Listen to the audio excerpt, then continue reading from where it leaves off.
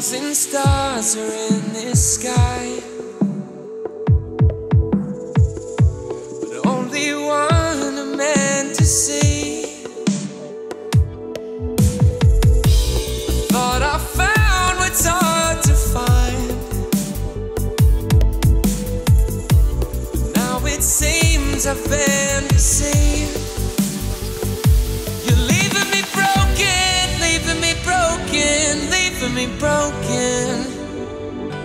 You're leaving me broken, leaving me broken, leaving me broken. It's time I leave you tonight. I can't take the lies, cause you're leaving me broken,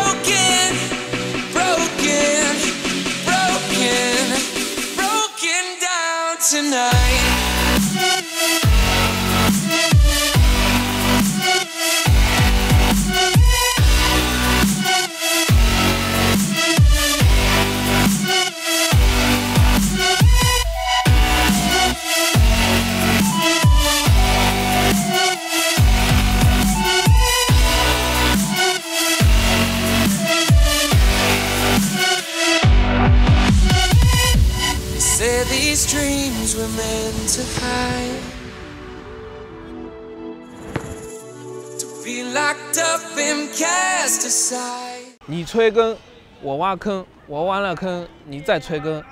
催更了这么久，挖坑挖了这么深啊，我们终于开始更新这个袜子的这个节目了。因为实在是没有做过袜子，我也不知道该怎么测这个玩意儿。你说去测它的什么摩擦抗扭吧，或者是包裹吧，在鞋里面你又看不到，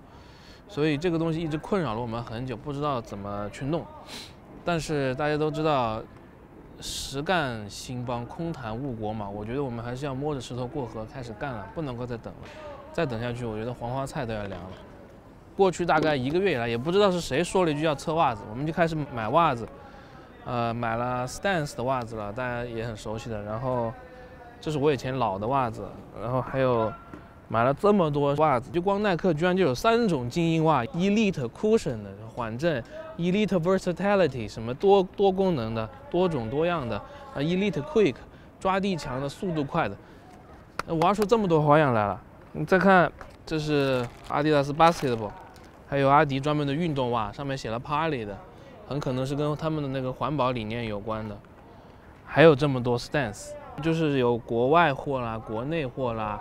还有假货，我们还买了一双，还有 UA 的袜子，这只是冰山一角，我们还买了很多国产袜子，然后我们这还只是买的篮球鞋的袜子，还不包括跑步、羽毛球，还有足球袜，一般的运动袜，所以我发现我们真是一不小心挖了一个很大很大的坑，结果导致我们精力会分散，所以我决定这一集还是我们先讲篮球鞋。啊，篮球鞋呢，我们先只解决 stance 的问题，也不是吊胃口，是真的有很多问题要解决，所以我们今天就先从这个 stance 开始说，好吧？就是有带了这个 logo 的，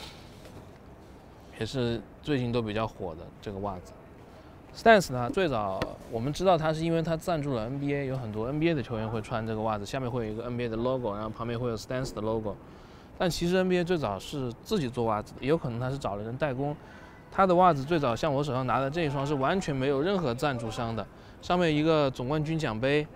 奥布莱恩杯，然后是 NBA 的这个 logo。这个袜子是我大概在七八年前，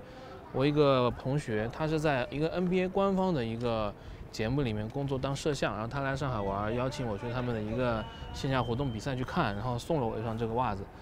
就这么多年过去，我们可以看到这个袜子的做工还是可以的。虽然这个后跟这里已经有点磨损了，就是能看到这边多出来的这个部分已经磨掉，但其他的加厚的这个底呀，还有脚趾上面这一层还是能看到的。然后上面的这个束带的这种类似像松紧带一样的材料，其实也还是管用。然后能看到 logo 周围一圈有很精致的编织，能让它这个 logo 呈现更好的质感。然后如果翻过来看的话，其实也可以看到。它这个上面有这种类似弹性的这种带子，当然已经有一些损坏了啊，因为毕竟七八年过去了。然后再看它这个里面这些针织，确实是有不同的面料把这个 logo 给围住的，就很特别嘛。然后它的这个底下的这种一圈圈的这种毛巾料啊，你还是能够看出来，确实有点像那种毛巾材质。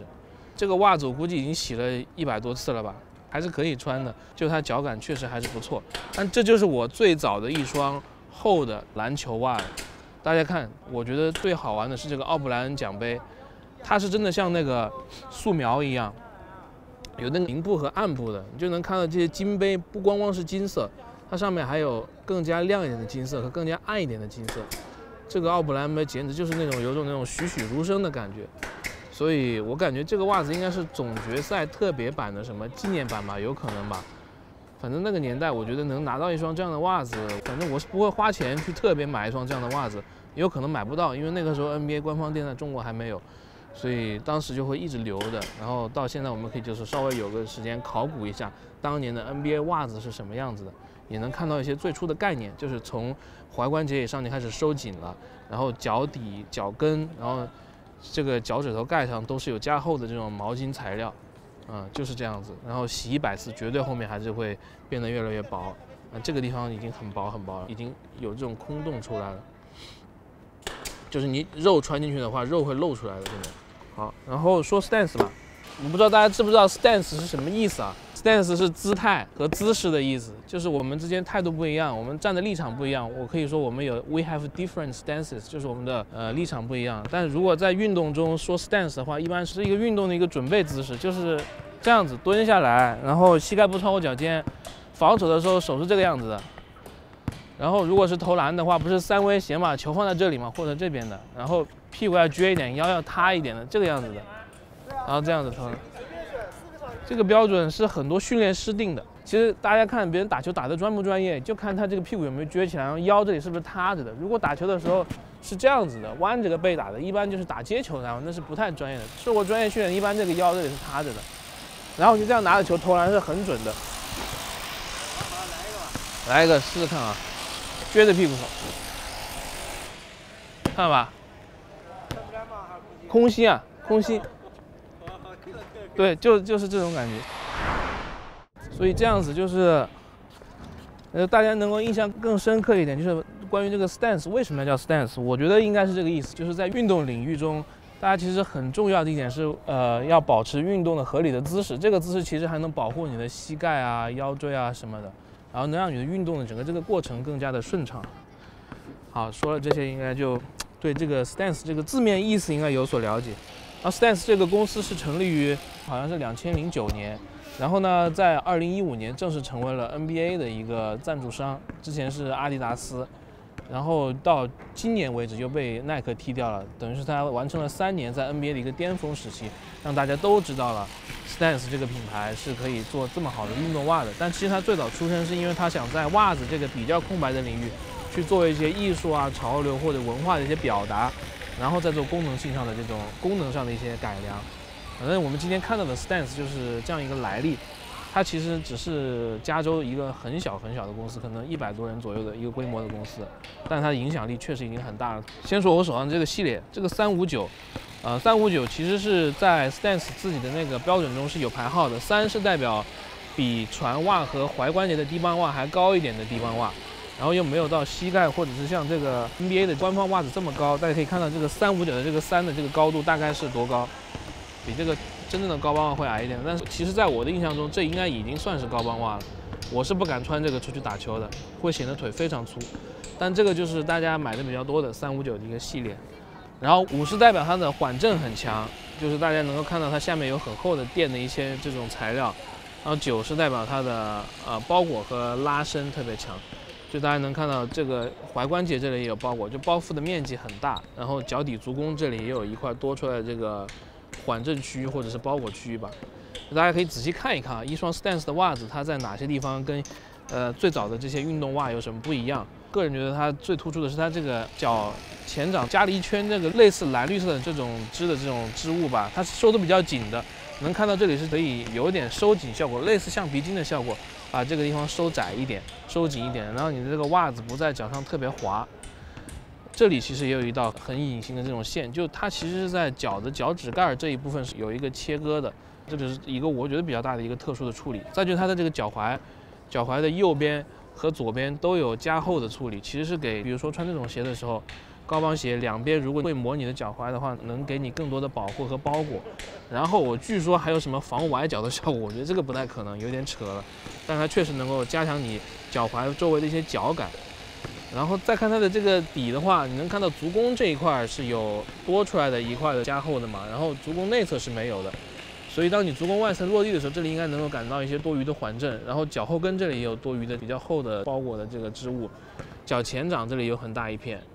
呃，这几乎都是盖满了，还有脚前掌内侧，这个比如说你发力的时候，这样发力啊，去蹬地的时候都能感觉到缓震。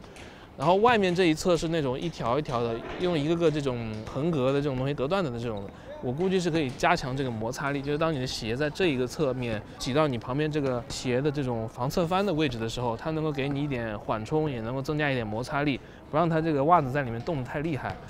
然后这个鞋底这种，我觉得也应该是这个道理吧。总之，它就左右都是不对称的。然后你能看到它上面也写了一个 R，就是右脚，所以它的袜子是分左右脚的。呃，这也是现在一般的运动袜的一个标准，逐渐变成一个标准了。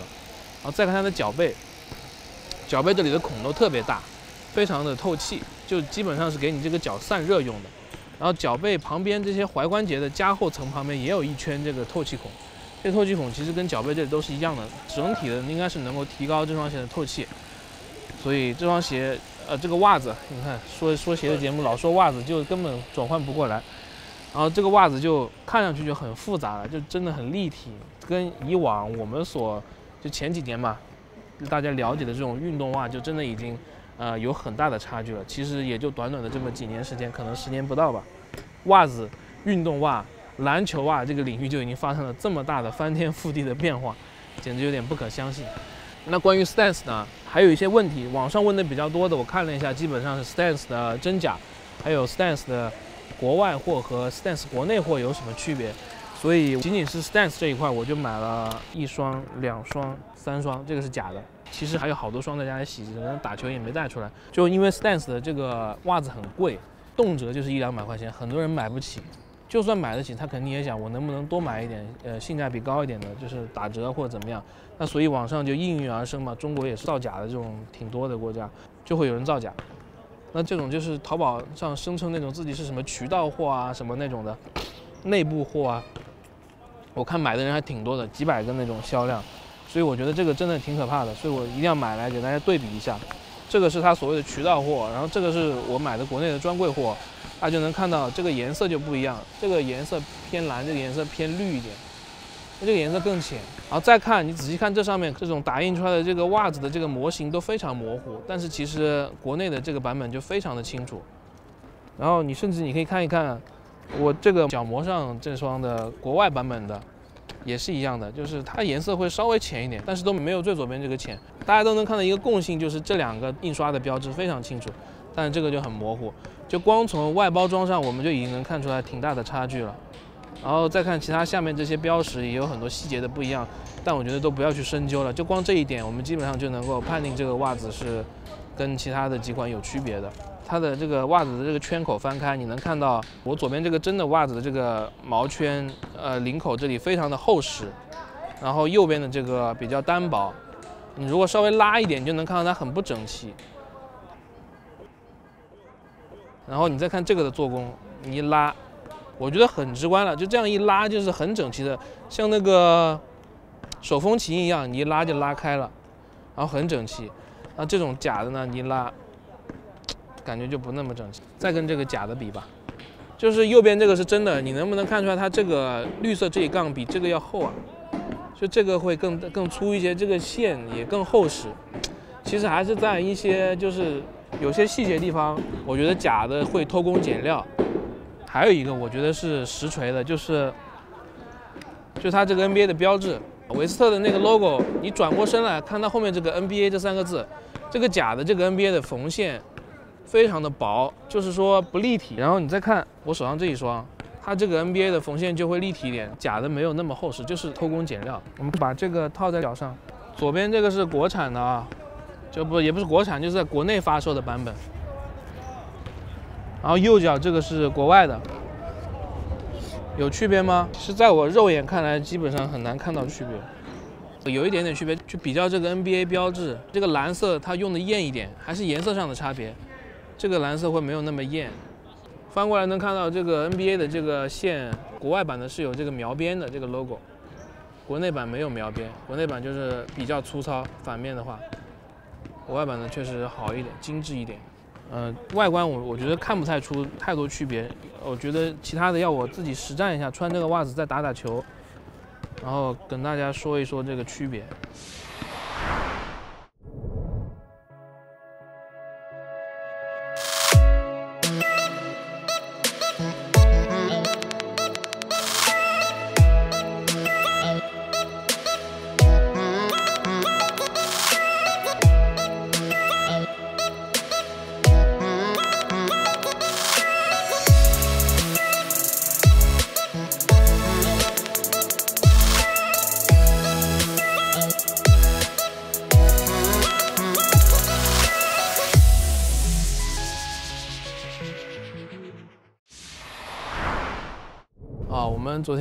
说一下这个袜子嘛，今天我们上午来打球，来体验一下 Stance 这个品牌在国内卖的和国外有没有区别，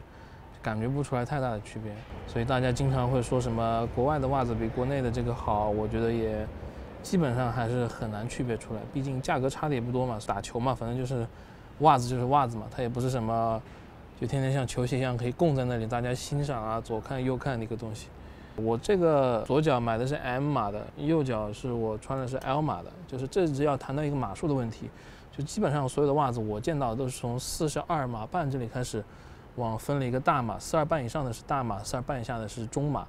所以对于我们本来就是四二半的这个脚的人来说，选袜子就有点难。我就现在觉得就是很尴尬，就是 M 码呢它会稍微有点紧，就是 M 码的最大范围是四十二，L 码呢它一般是四二半或者是三起。后跟那里又会感觉多出来了一点，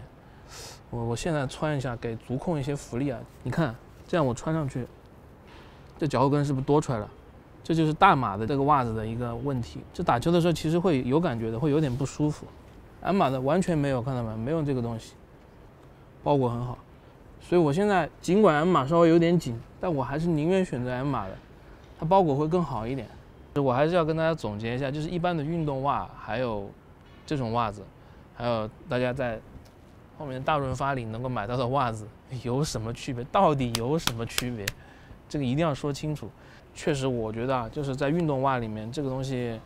它有自己的讲究。薄袜子呢，你基本上脚塞进去是没有包裹感的，就穿进去感觉里面很空空空荡荡的。然后你需要通过调整鞋带啊、各种东西啊，去把这个鞋面收得很紧，保证你的脚在里面晃动不会特别大，但是还是始终会有晃动。这第一点就是包裹感，运动的包裹感非常差，因为你运动的时候，你一个脚跟一个鞋中间要有一个东西把你的这个呃脚跟鞋的贴合度一直加到最大嘛，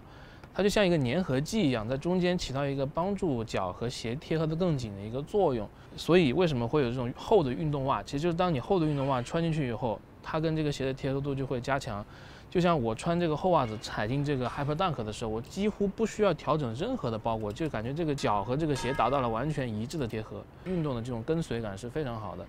啊，再就是加厚，同时它有帮助你这个袜子减少磨损的机会。脚头很厚，我不知道大家有没有像这种情况，就我有时候会把大拇指那穿出一个洞来。如果是薄袜子的话，穿久了就会一个洞。但是大家可以看我这个上古神器。就这个 NBA 的这个袜子，我穿了七八年了，它前面都没有动，看到吧？就真的是加厚的袜子，它总有自己的效果。那个时候没有像 Stance 这样讲究什么包裹啊，哪儿还要拉个什么这种左右脚要分开，它没有，它就是左右脚我就是一样的。但是你看它的脚后跟这里，它就给磨掉了，看到吧？这就是。运动袜、厚袜子穿到最后，脚后跟这里都磨掉了，它脚前面都不会磨掉。我觉得就是一个耐用的保障，就是确实你运动袜，因为你的脚会跟鞋产生很多很多次的摩擦，不像你在走路上班的时候，穿个皮鞋或穿个帆布鞋，脚摩擦的那个不是很厉害。那你就看我年轻的时候打球应该很厉害啊，这个摩擦非常大，都这么多孔。就我觉得厚袜子第二点，第二个要点就是说它真的是结实耐用。第三个是，其实是它就是该透气的地方透气，该吸汗的地方吸汗。这个薄袜子我刚刚打了一会儿球，就基本上已经全部湿掉了。这个我没办法给你们感受啊，就是一摸已经湿掉了，隔着屏幕你们也闻不到，你们也感受不到。Sorry，但是这个就其实干的，因为它的吸湿那个能力特别强，它的整个这个袜子里面的纤维啊，各种纺织的东西很多嘛，所以你出一点的脚汗可能只占它整个这个吸汗体量的百分之多少，但是这个袜子基本上就已经全湿了。所以湿的袜子打到后来，在你的这个鞋子里面真的会晃动特别厉害，然后会让你的这个脚感也很闷热、很不舒服。但这种袜子，你看它该透气的地方透气，该吸汗的地方吸汗，这就是为什么运动袜就非常重要的，跟一般的大润发的，还有一般的所谓的薄薄的那种运动袜，这种啊，比如说这种乔丹的这种潮袜，它里面什么鬼都没有，它就是翻出来就是这种印花，哇，密集恐惧症，真的密集恐惧症，我当时翻过来。你看这里也没有加厚，这也叫运动袜呀。然后这个脚足弓这里也收紧了，但是它没有任何的缓冲，也没有任何吸汗的地方，也没有耐磨的地方。这种就是潮袜啊，特别密孔的潮袜。当时怎么会瞎了眼买这个袜子？好像就是想配一下我的大灌篮的那双乔十一，那就买了一个这样的袜子。这也是运动袜，然后这个运动袜跟这种运动袜大家应该立竿见影了。这种袜子再去跟大润发里面的比，可能又不一样。这就是要跟大家说运动袜的，就是这三个要点：一是增强包裹，二是增加它的耐磨，三是透气吸汗特别厉害。然后我们再说 Stance 到底性价比高不高？其实 Stance 这个品牌，我觉得自从它进入 NBA 以后，它把它的价格提到一个一百五十到两百、三百的一个区间，是把它的一个逼格拉得挺高的。大家都会说哇，Stance 是很顶级的品牌。但是你具体来说，作为业余爱好者，业余爱好者，我们这种袜子跟这种李宁的这种几十块钱的，还有耐克的也是不错的七十九的袜子有。有什么特别大的区别也没有，说真的，但是它总会给你心理感觉专业度还是高一点嘛。就像你比如说耐克，这个两边没有特别好的踝关节的保护，它这里就有，就一点点这种细微的差别，其实在你打球的时候感觉的时候并不是特别大。所以真的你要说性价比。我一个三十多岁的人了，我花点钱买这个我是愿意的。但是，一些学生，你要他花一两百块钱，可能一双鞋一半或者是三分之一或者四分之一的价格去买双这样的袜子，我觉得他们是不太会买得起的。我觉得对于他们来说，李宁的这种运动袜，还有耐克的这种七十多块钱的运动袜，我觉得是性价比肯定是更高的。所以，Stance 的袜子性价比没有那么高。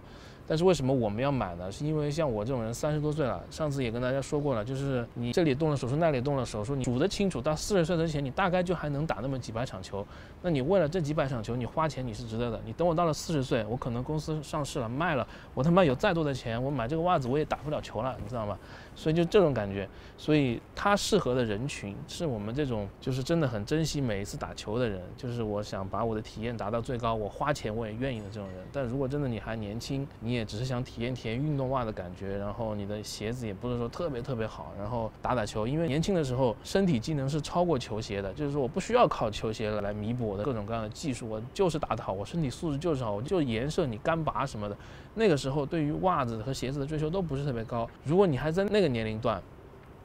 别花这些钱，没必要，你就买李宁的或者是耐克的袜子。之后我们也会说的，确实它的感觉差不多。我一定要去买 Stance，因为它的性价比确实确实不高。而且 Stance，我再说句不好听，它就是中国自己的厂做的，你何必要花一个大概一倍多、两倍多的溢价？本来它的成本可能只有三四十块钱或二三十块钱，差不多一百以内买就得了。你要花那么多的钱去买一个跟 NBA 球星同款的什么什么，去追求那个虚荣心也不必要，就真的不必要。或者追求一个所谓的质感也不必要。就是你省点钱下来，你还可以买点别的嘛。因为我前段时间也跟一个粉丝聊，他说我以前很爱鞋，我当然也认可他这个。他就说他高中的时候攒了很多钱，比如说一天少吃两个馒头的钱去买一双鞋。那我说你高中一定没长特别高吧，或者说本来能长特别高，其实特别矮吧。他就说真的，他高三毕业的时候一米七十出头。那我觉得他如果省下那些钱买了更多的包子粮食吃了，他说不定能长到一米八，是吧？那他后来打球可能能直接严扣别人，所以。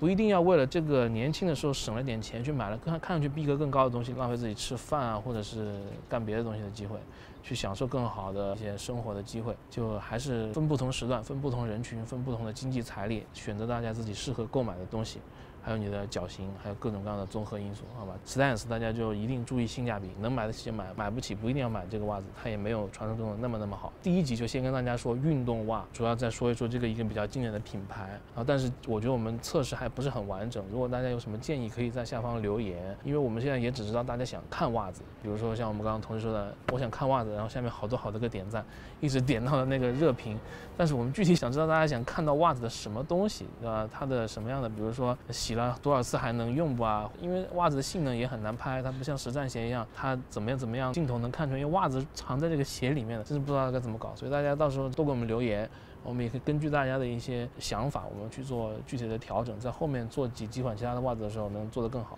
Dance 的袜子就给大家介绍到这里，不知道大家还满不满意？好，袜子的这个坑很深啊，还有什么 Cool Max 的这种户外袜子啦，还有类似这种乔丹十一代的这种潮袜啦，其实都后面还是很有很多可以讲的。所以我估计潮袜我们会单独再做一集吧，然后户外的这种袜子我们也会再做一集。户外的袜子这种 Cool Max 材料和羊毛袜其实都很有讲究，还有包括这种潮袜，这我一个朋友自己做的一个国内的品牌，做的很多的图案，但是你拉开你可以看到上面的彩印还是不是特别好好，所以彩印的工艺我觉得到时候也有可以说的地方。还有其实李宁的袜子也不错，我们之后干脆把它放在跟耐克的那些一起说。还有一个我一个朋友自己找到我说极客鞋谈不错，他想让我们测他的袜子脚底带这种防滑的这种的，然后这个大拇指和这个两侧是分开的这种，到时候我们也会放在一些奇怪的袜子里面给大家看一看。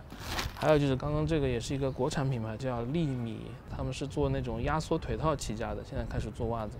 之后也会有机会会给大家介绍，不是吊胃口，是真的这个玩意儿坑太深了。我们一集一集来，one by one，好吗？然后这集就到这里，下期再见，拜拜。